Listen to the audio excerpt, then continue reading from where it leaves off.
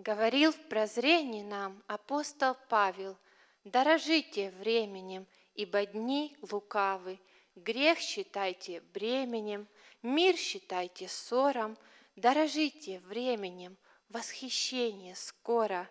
Не чужайтесь рубища, позабудьте славу, только Бога любящим служит все ко благу.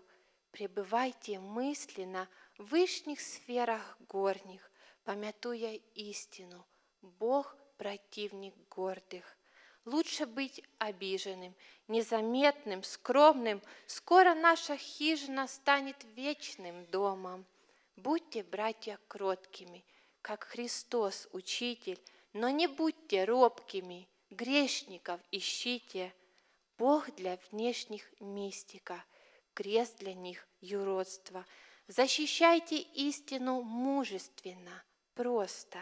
Избегайте зависти, не впадайте в рабство, и тогда Христос сам будет вести братство. Вера наша – зрение, жизнь горит, как свечка, видимое временное, будущее вечно. Времена последние, люди злы и горды, в небесах наследие и наш вечный отдых. В беге на ресталище подвязаться надо, только побеждающих ждут венцы, награды.